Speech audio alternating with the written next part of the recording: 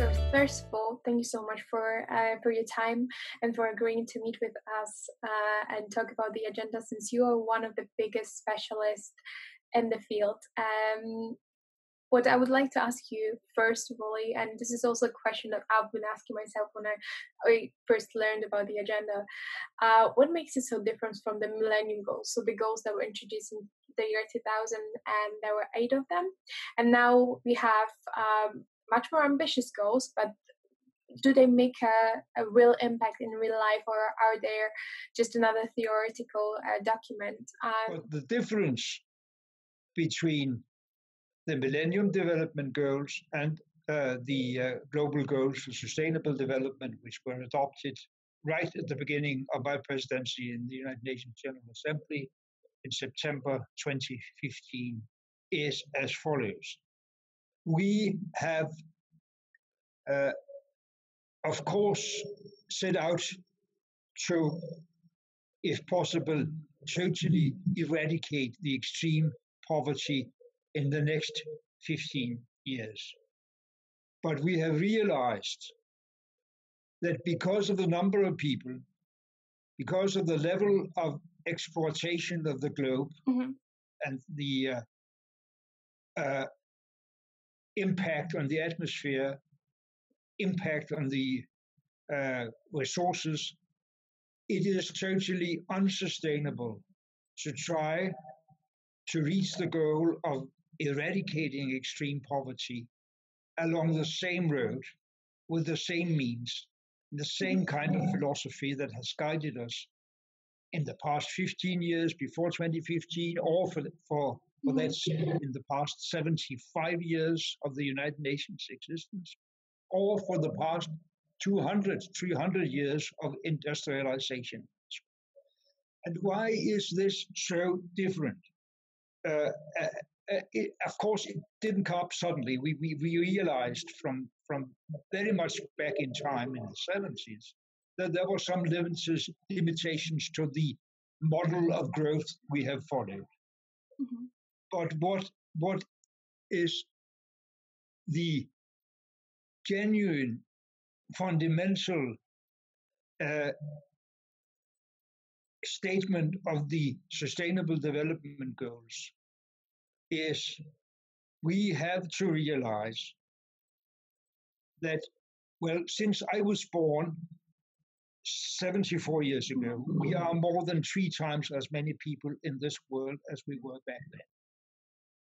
And we are, our impact on the atmosphere, on the global uh, living conditions, on the nature, is maybe 10 times as high as humanity as it was back then when we were only a third of what we are now. And we, could say for, uh, uh, for uh, maybe the best illustration of the difference, how, how we argued uh, back 20 years ago and how we argued five years ago. Most of the eradication of extreme poverty in this world happened in China. You cannot understand the, the global situation for good and bad without understanding that in the past 40 years, China brought 800 million people out of extreme poverty, and their gross national product is now more than 30 times as big as it was back in 1980 that has been the illustration, uh, without comparison, the illustration for all of us, also for the Chinese. Then, when billions of people in the poorer parts of the world reach out for the same way of production and consumption we have, us, the rich billion people in Western Europe and North America. We know now for sure two things. They cannot get it, and we cannot keep it. Mm-hmm. We have we have more fundamentally to change the way we produce and consume in order to give to the for, uh, coming generations a sustainable life condition. Mm-hmm. And why 2030? Well, 2030, I, I, I, think we have to be frank here and say we will not reach all this in 2030, but but but but we have to make the uh, very substantial steps forward in order to make our way of producing and way of, of consuming sustainable uh, in within this maybe uh, let's say coming 30 years. Mm-hmm. uh, we cannot maintain the, the, the way of growth we have now. We can have economic growth but basically on three very far reaching con- uh, conditions. We have good time before 2050 to stop using fossil fuels for producing energy, uh, whatever we find of it out there in deep sea and high, high mountains, everywhere. Uh, however much we have, in order to, to, to make forward, uh, forward steps in fighting the climate crisis, we have to stop using it. And we have to develop sustainable energies sufficiently uh, efficient and cheap to outcompete oil, gas, and coal. It's, it's a very far right reaching decision, but it's, it's one of the necessary conditions to, to battle the most urgent of the 17 goals for sustainable development, namely climate action. Mm-hmm. Yeah. If we don't do that, we'll not be able to stabilize the climate within two degrees uh, Celsius over the level before industrialization, even better one and a half uh, degree, as we decided in the Paris Climate uh, Agreement in 2015. Mm-hmm. But, but the other thing is that we, uh, if we will make the world sustainable, we have uh, to develop the technologies and the systems so that in good time before 2050, we will be able to reuse all the resources we now throw away. And in very good time before 2050, we, we should finally live up to what we have committed to do more than 25 years ago, namely to plant much more trees than we actually uh, cut down in this world. Some very, very fundamental changes we have to make. And, and, and for me, it's disturbing, uh, to be frank, that even in, inside the European Union, there are countries like your own, like Poland, yeah. who will not commit itself to step away from coal yeah it's a big step for us definitely and there are conversation because the the society uh, i mean part of society we can never talk about the, the whole society as such but part of society is is really pushing forward the government and demanding more action and more uh, decisions um, and and first of all to uh, support the, the Green New Deal. That is really important for us for for society, I believe. But yeah, talking yes. about action, you, you mentioned action and that it is really important to start doing something in the, for example, in the uh, goal 13, uh, the global action, the uh, climate yeah. action, because um, this is something that is really there and is something very urgent. We have to stop it. Uh, when I read about uh, the Agenda 2030, I heard that part uh, part of the reasons why the date was 2030 was because um, because of the IPCC reports, and they pointed out that we need to reduce the temperature.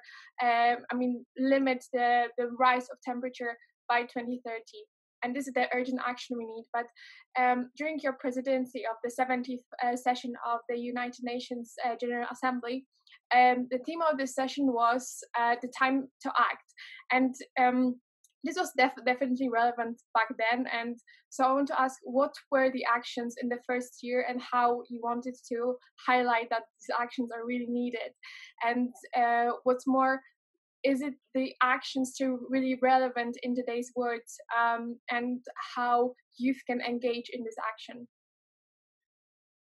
Well a lot of questions but you you must catch up if i've got some of them. But but but but uh, first of all what we what we did in the year when I was president of the General Assembly, after having adopted the uh, 17 goals and having adopted the Paris Climate Agreement, was to engage as many people as possible in civil society, in business community, in, in governments uh, uh, all over the world uh, in the understanding of the uh, final, the, the, the basic three uh, uh, demands in, in, in the global agenda. Um, we, we have to continue with great uh, efficiency our fight against global poverty. Mm-hmm. We have to step up very quickly our efforts for climate action. And we have to realize that we will not be able to get not even popular support for the necessary steps in all this uh, climate action, all the investments we have to do, all the changes in lifestyle we had to insist on, all the changes in, in taxes and so on in order to push to push forward uh, other be, other behavior in investment and consumption. We will not be able to do that if we don't live up to goal 10 on uh, less inequality. We, we have to understand that the, the very strange and frightening paradox of what happened in the past 15 years, or the past uh, 40 years actually, in this globe is this we eradicated much of the, the extreme, extreme poverty. But at the same time, we increased inequality. We collected much, much more money, wealth, power at the hand of the very, very few people and big multinational companies. And, and as everything in the global goals, the demand is global cooperation uh, in order to go up against climate change, poverty, and inequality.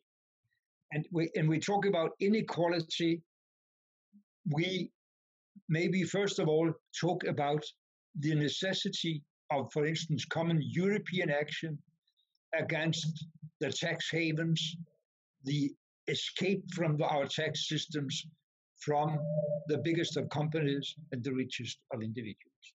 Because if we don't get a major contribution from that part of, of, of, of our societies, we will not be able to realize less inequality and we will not be able to finance the huge investment in a different infrastructure, be it in energy, be it in transportation, be it in uh, city planning, be it in, in, in garbage handling and re, reuse of, of, of, materials, We will not be able to get this, uh, the money and the public understanding for that support if we don't uh, uh also at the same time integrate it with the fight not only against poverty but against inequality.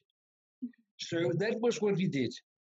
And and uh, and trying to uh, give life to the summary of the goals in goal 17 uh, partnerships. Partnerships between countries. Partnership inside countries between governments making regulations making uh, uh, uh, pushes for supporting change, technology, and, and production, cooperating with local authorities, cooperating with civil organizations, with business life. None of us can do it alone. We have to bring on board all the different partners in society and in the world together to do that and make it more and more obvious that the, the sustainable investment and the sustainable consumption is also good business for people, for countries.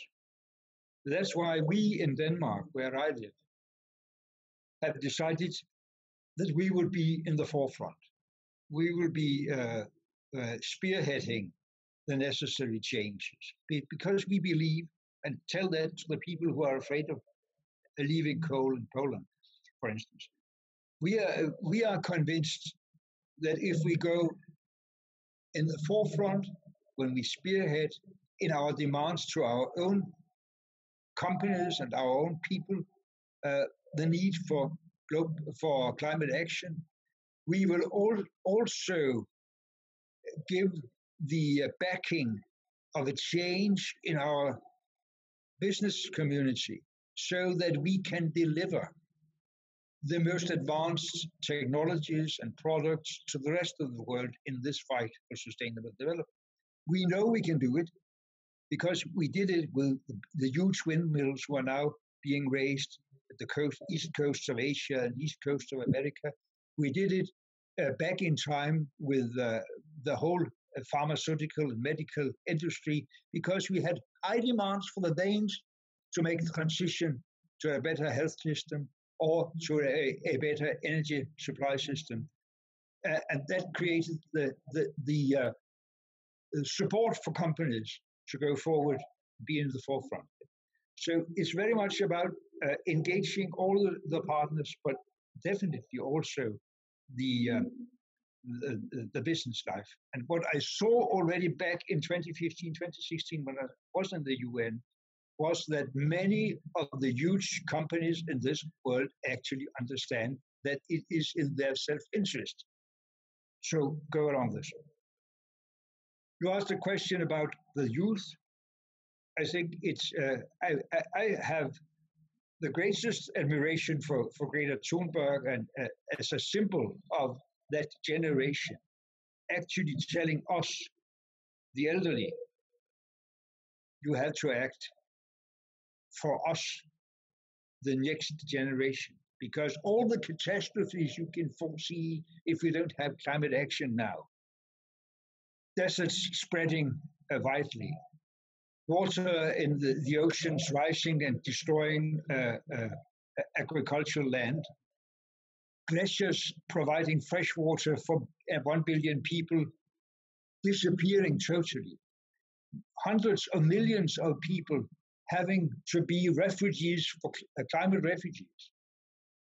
That will create a totally unstable and frightening conflict uh, loaded world, much more than the one we have already. So it's really for the next generation, it's for my children and my grandchildren, because this will happen within like the uh, adult years of my grandchildren if we don't act now.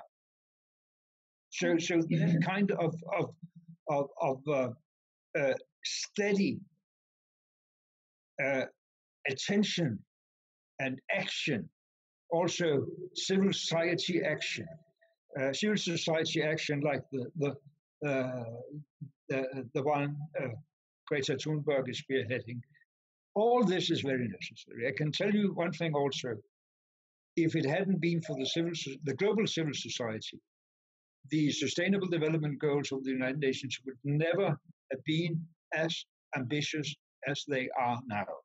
It was not the governments that spearheaded this. The government did it, and it was a step forward that all the governments at least formally accepted uh, the radicality of this uh, uh, agenda. Yes, that was good, but it only happened because we had a very, very uh, strong civil society around and it will never be realized as it was. Yeah. Yeah. yeah. as you said, uh, well, empowerment is the same that the society is pushing many, um, many actions in, in different SDGs, and um, I, I definitely, I, I, definitely agree with you that um, the Friday for Future movements are showing us that this is this is the future of the future. This is the future, but uh, not ours of future generations and that we have to think of them uh, when we act. I'm i'm talking also about myself. This is my future and future of yeah. my children. And that's why um, definitely action is needed and um, ch- children or youth they should feel empowered to act.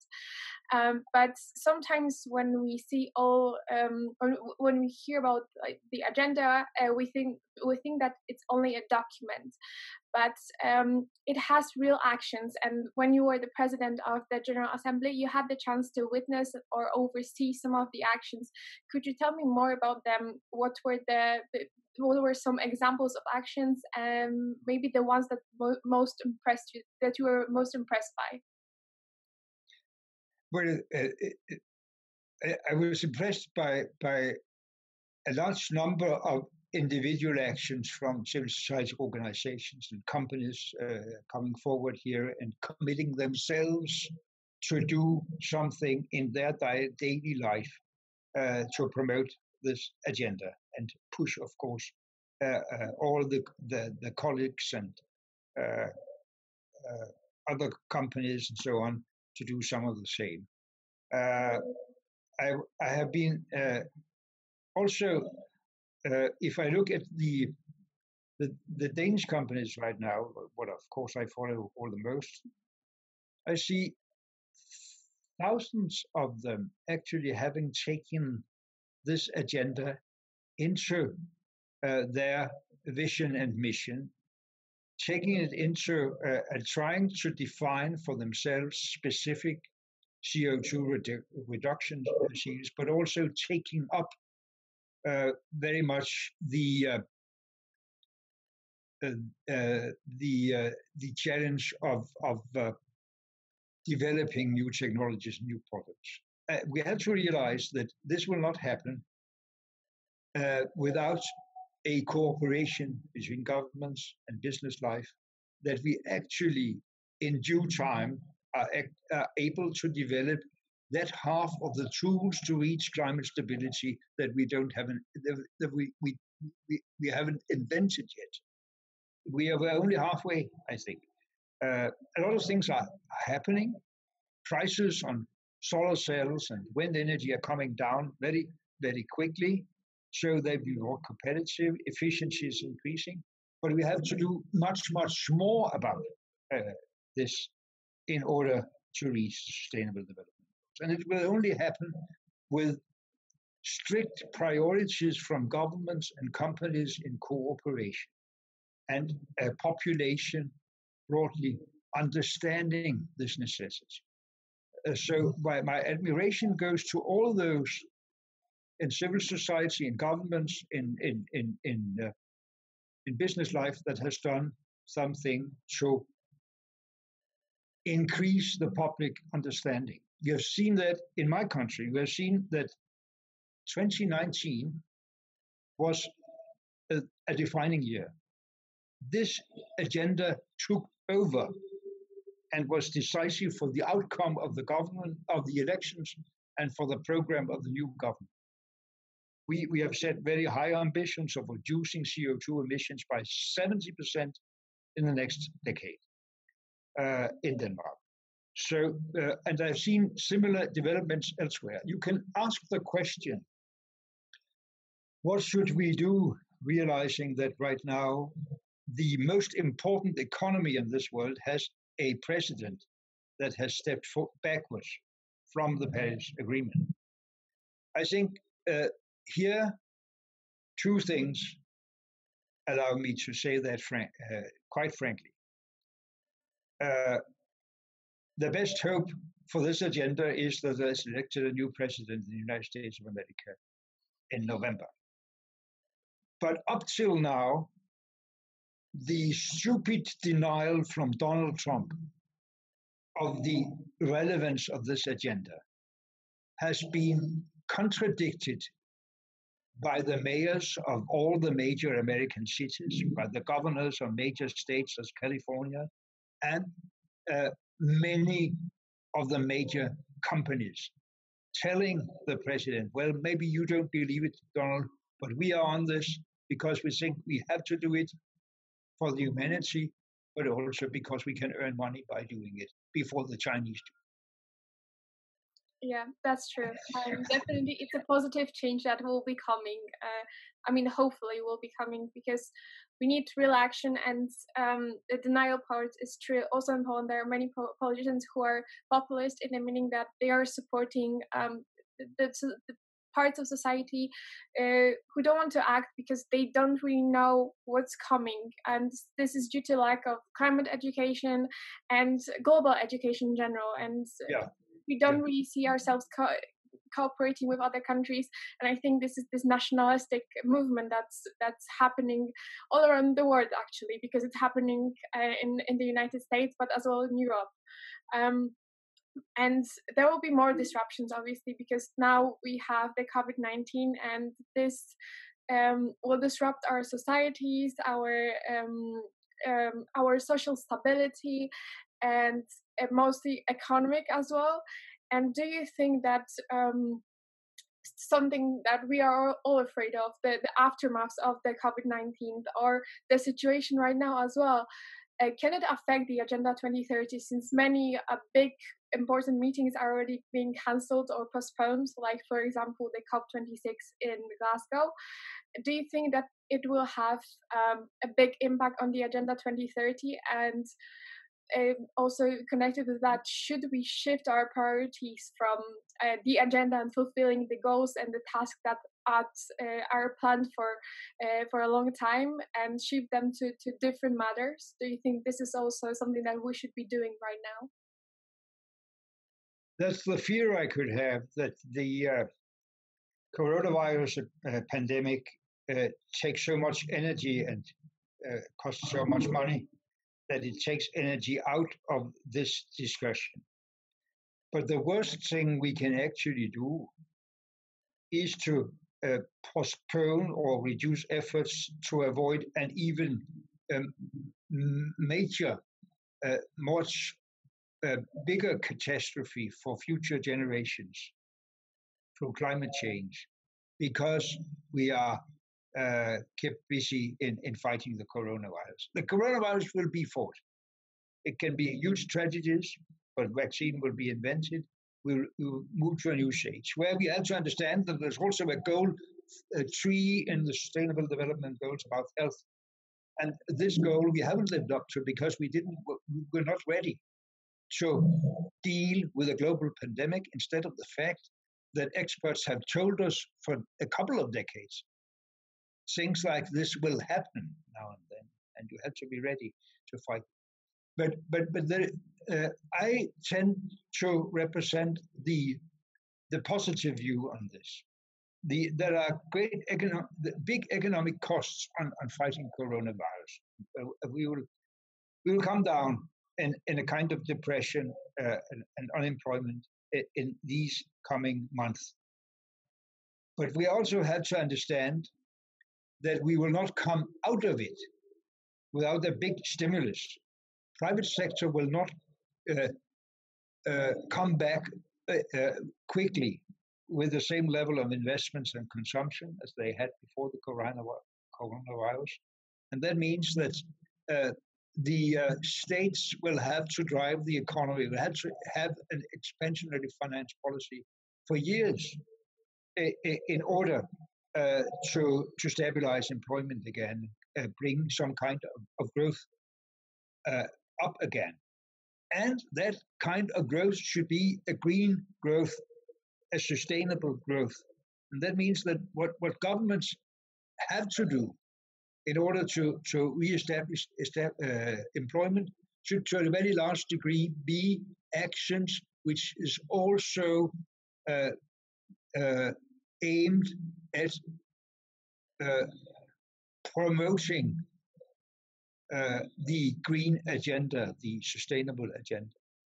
Uh, we have to, to, use the opportunity of uh, using the, the, the idle people, the, the, the idle resources after this crisis in order to go even faster on this global agenda for sustainable development. So it, it will be very dangerous to define the true crisis as a choice between the, the, the, the, the middle term, long term, very deep crisis caused by climate change. Uh, we have to act now. There's no change in that necessity because of the corona crisis.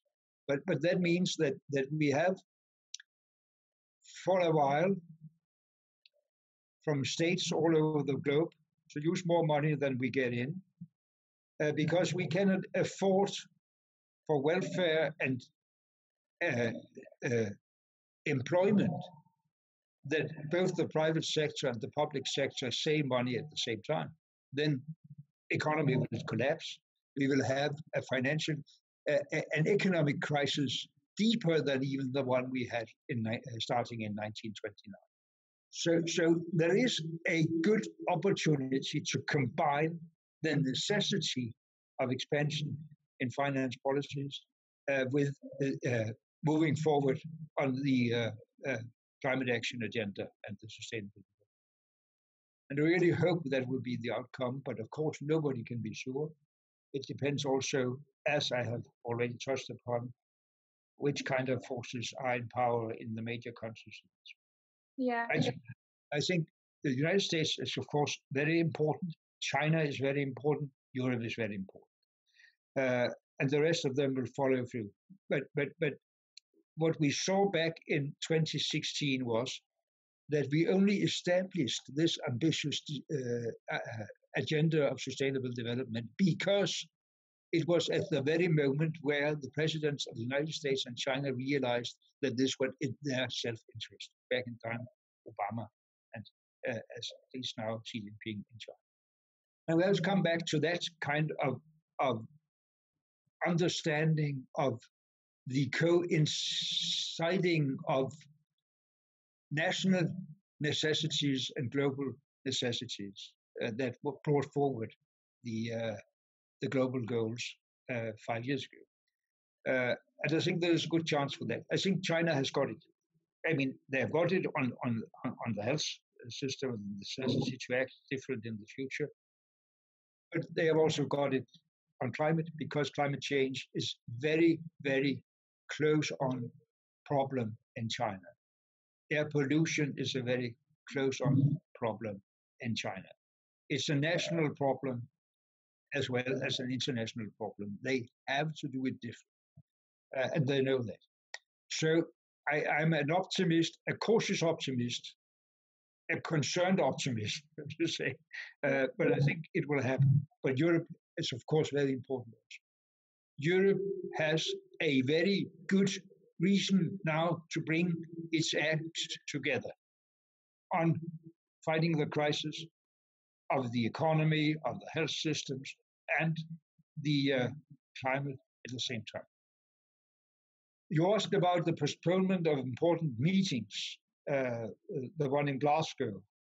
I don't think it's that much of a problem that it is postponed because it was anyway a strange idea to have that a few weeks before the American presidential election. Okay. Maybe they will make it. yeah. But uh, yeah, but what you said, what I think is also really important that you said it before that sustainable, the, the Agenda 2030 um, is really aimed at cooperation, and this this new crisis that came. Um, I saw many pictures of, of how big climate crisis is and uh, how many things it's going to impact and coronavirus as big as it is it's a crisis that will be for for a while and uh, hopefully uh, will have as as small crisis as it's possible but then yeah. uh, the big crisis will come to us if we don't act now. But uh, what you said before is about cooperation. I think this is also also really important to to just highlight that there will be many countries that will not be able to cope as good uh, and as well as um, Europe, than the North America or China, and they will have problems. Um, and and can this also impact the, the sustainability of, of the whole world? And probably it will, but how big can be the impact maybe? It, it, it's obvious that when we talk about the corona crisis, it will be uh, very uh, disruptive for many of the poorest countries of this world and make it even more difficult for them to find the finance and the attention for their investment in sustainable development. So I, I, I really, really hope that we will be able to live up from the rich part of the world to the commitments we have already made in the UN about supporting poorer nations in their efforts to get on the top of the crisis, uh, be it the, the health systems now and, and, and the uh, climate crisis in the future. But, but, but we also have to understand that the drivers of climate change is not Africa or poor nations in Asia. It's the highly industrialized countries, including now China. And if we act, uh, that's by far the most important for, for, for, for, for global act, for, for, for global results on this, and will also help the poorer countries uh, to some extent. But we also have to live up to our commitments directly to support their investments in, in, in this if we should be successful all around. Yeah, thank you so much. It's definitely a strong message that uh, our actions matter and um, each each action matter to be for as you said it's important to cooperate not only international but also uh, the institutions have to cooperate with businesses and uh, with uh, so society with uh, social um, organizations. Uh, thank you so much for uh, for uh, spending time for uh, giving us a little bit of your time. And um, thank you so much for sharing your knowledge and your experience because it is really very very very valuable um, and um, and yeah thank you so much and i hope you stay in health and also thank you so much for sharing uh, experiences of denmark as well because this is something that here in poland we can be learning from uh, uh, to, to change our policies um, yeah, so thank you so much. Thank, thank you very much for the opportunity to meet you on, on, on this conversation. And uh, I, I wish also you all the best for your health and your work for these hugely important international agendas. But yeah. all the best. Thank yeah. you.